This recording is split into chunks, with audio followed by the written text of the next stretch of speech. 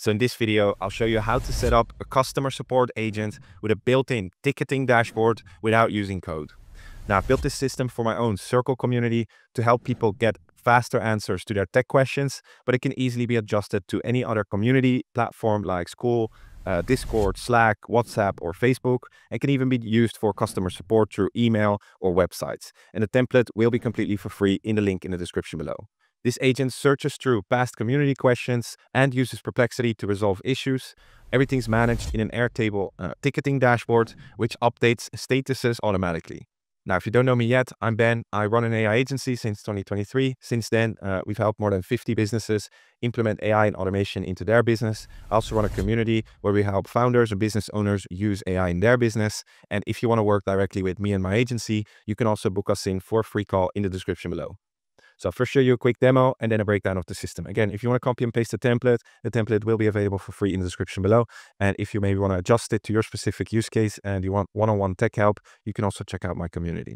Now, the whole reason behind this system is because we want to help, uh, help people inside of my community as fast as possible with their tech questions. And so basically this system gets triggered as soon as someone in my uh, community uh, posts a tech question or needs tech help. And what will happen first is this first part of the automation will be triggered where it gets the circle post. It will uh, create an Airtable ticket. And then our AI agent is going to search through past uh, community questions and answers and use Perplexity to try and resolve uh, the issue and post a comment back. So I can show you a quick example of a comment back. Um, so if we take this one, uh, how to start connecting uh, whatever Lovable comes up with with uh, N8N. So how to start connecting N8N with Lovable. And here we have the AI agent. Hi there, it's great that you're exploring uh, possibilities, steps to follow, understand the basic integration pattern, Lovable access the user interface, uh, this input sent to N8N via webhook, setting up the N8N workflow, etc., etc. And it gives you some additional resources uh, about your specific question. And sometimes it will link back to a, a post we had earlier about a, a, similar topic, right? So it will also give the confidence level of the answer uh, and uh, that's basically it. So besides that, of course, it creates a new ticket in uh, our Airtable ticketing dashboard. So that looks like this. Uh, here, basically, all the new uh, tech questions come in, and then we have a few statuses to make sure that we resolve all the tech issues inside of the community. So have not replied, replied, solved, and urgent resolution. Now, that's the second part of the automation, which is the checking uh, the status of uh, the post or the tech question, if it's actually resolved or not. Now we do this because sometimes, of course, you need to go uh, back and forth a few times to actually be able to resolve an issue. So uh, you can check the status here by uh, simply clicking uh, the check mark to check the status of the post. Right. And then the second part of the automation is triggered where it basically looks at the post, looks at the responses and uh, takes a conclusion if the tech question is resolved or not, or needs extra replies, and then updates the status inside of the ticketing dashboard uh, automatically. And if the post is solved, either the human uh, moves it to solved or uh, the, the, or the automation detects that it's solved, then uh, it will trigger this last uh, workflow, which basically updates the circle post uh, where marks it as solved inside of the title. So let me show you a quick demo. So if I just uh, add a tech question here, the tech help section, let me add a post that someone already mentioned. So for example, connect Apify to Relevance AI. How to connect, uh, or how do I connect Apify to Relevance AI? Just as an example. So if I go back here, now I can't show you live, but here I can show you an execution so they now will get triggered. Now, uh, fast forward this quickly to show you the end result. So succeeded. Now, as you can see, the agent uh, posted back. So if I go back now to the post and I refresh, the agent answered. So hi there, connecting Apify to Relevance AI is definitely possible. All right, step one, get your uh, Apify API details, use Relevance AI's API call, configure the API call.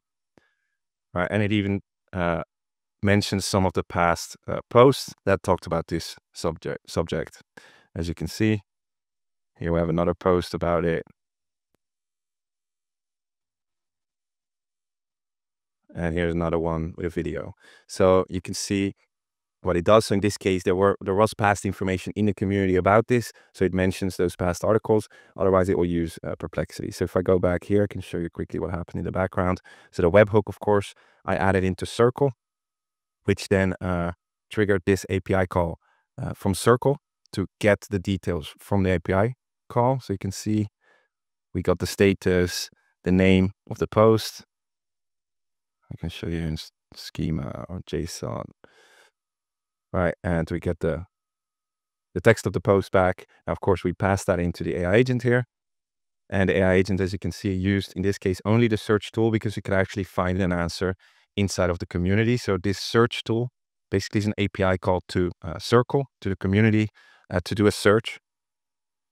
And that search basically looks for if there are relevant uh, posts in the past about this specific topic. And if so, it'll use that uh, to reply. And if not, it will use the perplexity tool. So if you can, maybe we can check another one where it actually used perplexity. You can see in this case, it did use perplexity.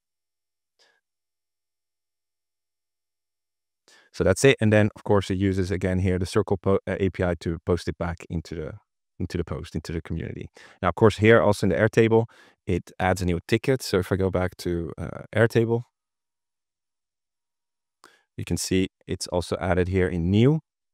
Now this is basically for us to manage and to make sure that we resolve all the tech issues. So here I can just also click on go to post, right, to, to resolve it.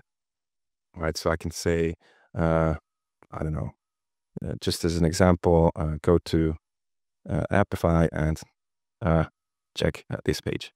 All right, just as an example.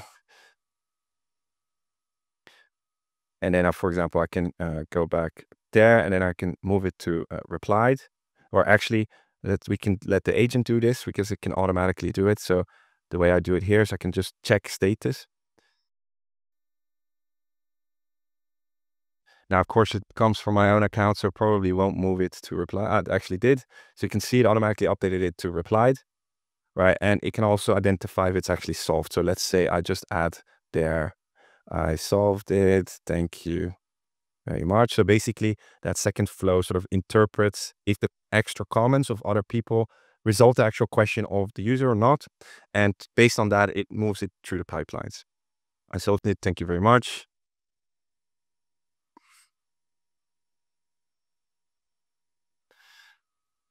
And so if we do it again right now, and we check the status, you can see now it moves it to solved. So that's how the ticketing system works. So now it should also have updated the post here um, to solved. So usually it updates the title here to solved. And that's basically a system. Uh, but you can see you can probably adapt this to many other use cases you would have in, in uh, community management or maybe even customer support. So let me walk you through step by step um, through these flows here. Uh, and again, if you want the template, you can always uh, check out the description below. So of course, first of all, uh, this automation gets triggered as soon as someone adds a question in the tech help section inside of my community through this webhook, right? So I've just added this webhook inside of my Circle account to basically be triggered as soon as someone posts something. Now, I'll not show you this in detail because I can imagine you no, you don't use uh, Circle, but this would be a very similar process for any other maybe community platform you'd use, uh, for example, Skool or Discord uh, or even Slack. Uh, Slack would have a, a, separate trigger, a native integration actually, but it would be a similar setup. So in this case, I've set up the webhook um, uh, with to allow for multiple HTTP methods because we use the same webhook for a post method and a get method. Now, the post method is the one uh, that will be uh, triggered as soon as someone asks a question in the Circle community, and the get one is the one we set up uh, for checking the status from the Airtable and to mark the post as resolved, which also comes from the from the Airtable. Now, you could also separate this into three webhooks, but we like to you keep it clean. That's why we use the same webhook. So as soon as it gets triggered, of course, we uh, get the circle post. And this is basically all we do is we pass in the post ID, which we get here from the webhook to retrieve the, the details from the post. Now, again, I won't, I won't show the circle API in detail because I can imagine it's not very relevant to you, but you can just, if you have it, find the documentation page of circle to find the exact details. But all this API call does, this HTTP request is to get back all the details from the post. And uh, from there, of course, we create uh, the ticket inside of Airtable here Airtable has a native integration here in n8n. Uh, we work a lot with Airtable uh, for management of, of these systems. Uh, but you can see we send over the post title, the post detail, the user email, the username, the status, uh, which is new, of course, because we're creating the ticket, the topics, the post URL, and the user ID. Uh, and then, of course, we pass it over to the AI agent, which I showed you uh, before. Now, what do we pass over here in the prompt? We send uh, the post title, the post body, and the tools. Um, the tools is basically inside of my community. We have uh, different sections for different uh, softwares, no code tools. So relevance AI, make.com, and n8n, uh, which we also pass over here to the agent because, of course, it helps with context on the issue.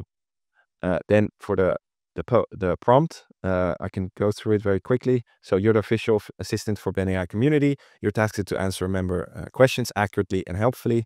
Always deliver uh, your responses clearly and consistently in HTML format. Now, critical workflow, follow this exact sequence. Always use the search tool first. So the search tool basically goes through this, uh, the past circle posts to try and uh, find a similar topic uh, to try and find answers uh, that have been given to a similar query before and sort of prioritize that over uh, the next option, which is uh, the perplexity tool, right? So if similar questions exist, use those answers into your response. If search results are insufficient, use the perplexity tool. Now, and of course, the advantage of perplexity can also link uh, resources and cites resources, which you can add into the, the answer. Be very specific when you ask Perplexity tool. Don't be vague. Then we give an example of the HTML output because we want to have it sort of nicely formatted and some important rules. Uh, and then we also add in the confidence level criteria. So uh, we have high if it's confirmed by multiple reliable sources, medium uh, if it's limited sources available or minor assumptions necessary, low if information is scarce or sources conflict. Now, this you could also use. Let's say I have a use case where you have a little bit more of a critical workflow. You can't have uh, your agent answer anything that might be wrong. Uh, then you can also, for example, use this to route uh, your automation into a human in the loop. For example, let's say the confidence level is low. Uh, you can add in a structured output. If the confidence level is low, then route it to a human in the loop, uh, or maybe just add it to Airtable and leave it to a human.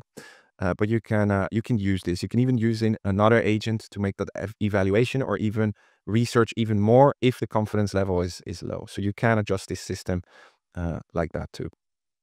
So that's it. Then for the two tools, of course, we use Google Gemini in this one, uh, the 2.0. We use the we use it a lot because it's free. And then uh, we have the search tool again, which is a Circle API call to basically just uh, use the search function to search for past posts that might have similar answers, right?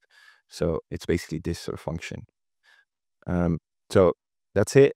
And then we have the perplexity tool, I think speaks for itself. And then of course it uses the circle API to uh, post a comment back uh, to, to the original post.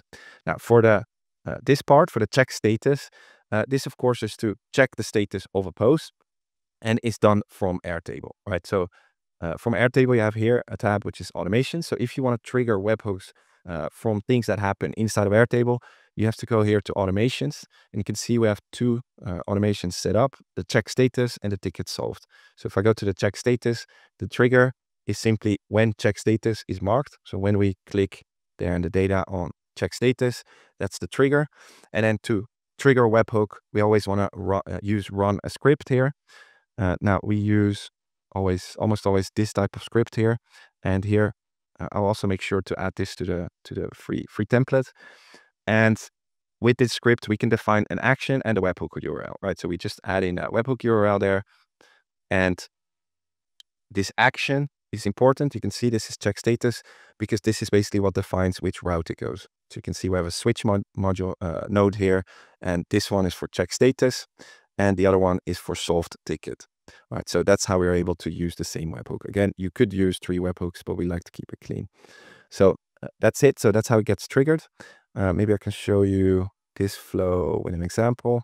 So you can understand it a bit better. So let's see. So in this one uh, speaks for itself. I think we get all the information from the Airtable first, uh, just all the all the information. Then we uh, get the circle comments. So we get all the new comments to check for the status, right? If it's actually resolved.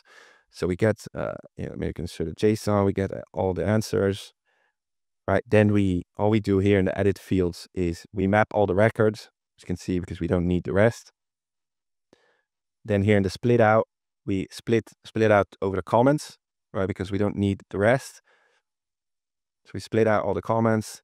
Then we clean it up a bit uh, with the HTML to Markdown because we want to generally uh, transfer clean data over to the over to the AI steps later. It's just good practice.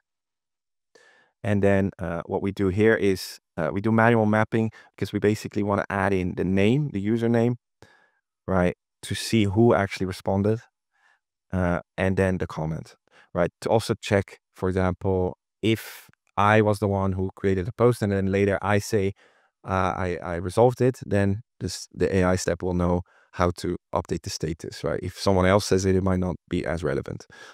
Uh, so that's that's how we basically we map uh, this for each of the comments. Right, you can see, and then we aggregate all the comments together into one, as you can see here, so we can pass it over to the LLM chain. And so passing the post title, post description, the time since posted, and all the comments. Here we have the prompt you're an AI customer support agent responsible for analyzing tech support posts. You'll receive a support query input uh, structured clearly, containing these details, post title, post description, time since posted, and the comments, of course. So based on the provided details, your job is to clearly understand the technical issue, determine if the provided comments contain sufficient resolution information to indicate the problem has been resolved, uh, provide a clear and concise single line recommendation for the next resolution step, and then accurately identify the current status from the following options based on the, these rules. Right, so we have solved if the issue described in the post is clearly resolved, not replied, if there are no comments or there's only one comment from the Ben AI agent, which of course is not counted in as replied. Urgent resolution if the issue remains unresolved for one day or more without any replies, and replied if comment exists uh, beyond just Ben AI's uh, uh, agent's initial comment. Uh, so that's how we will update the status. Then we use a structured output here to uh, define the define the status, and then of course that will be updated here in the Airtable, the status and that's it. And of course, if it's then resolved, then it will automatically trigger this automation, which I can show you. If we go back here to the Airtable, we have the same sort of automation set up here. Of course, when status is solved, then run this script, and then it will run that same webhook, but now with the action solve ticket. And then it will route it here. And this is pretty straightforward. Again, we get all the details from the Airtable record and then we post a, circle comment that this post has been marked as resolved and it updates the title too. So again, this is just the Circle API. You can see Circle API and we just update the title. Uh, so that's it. I think a pretty specific build uh, for this one, but I think sort of the architecture and if you have a similar use case, it might be helpful for you. Again, if you want to copy uh, the template, you can just go ahead and, and go in the link in the description. And uh, if you need help in adjusting this template and making uh, making it for your use case, uh, you can either uh, contact us to work with our agency or uh, join our community where we can also help you with one-on-one tech help to help you adjust this template maybe for your specific use case.